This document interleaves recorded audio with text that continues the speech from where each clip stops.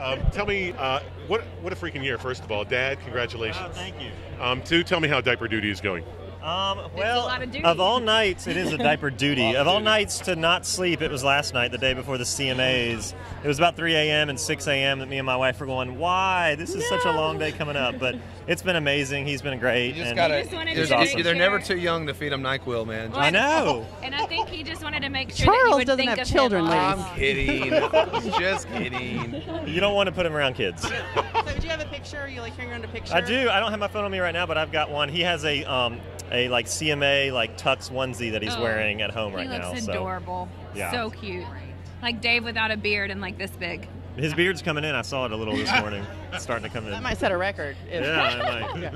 That would be fantastic. How's uh, man? I hate to leave you. out. How's mommy Oh, life good. for you? It's awesome. Eisele, my daughter, is 15 months old. She was here hanging out with me a little bit earlier while I was getting my nails done, trying to help with it. Um, and she's just fun. She's getting really sassy, which Yeah. unfortunately I think is a trait she got from me.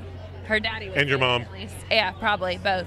It's a, it's a, it's. ki- We, she gets it honest. Okay, let's talk about your dress.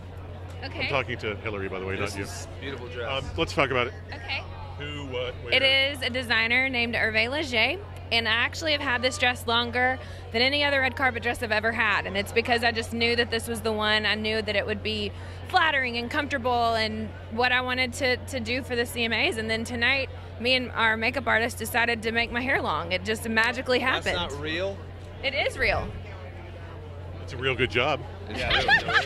It's real hair, right? It is It's real real It is hair. real hair. It is Amen. real hair. Amen. No, it, Yes. I just wanted to do something fun and, and different, and um, you know, it's just it's honestly one of my favorite looks I think I've had in a really long time.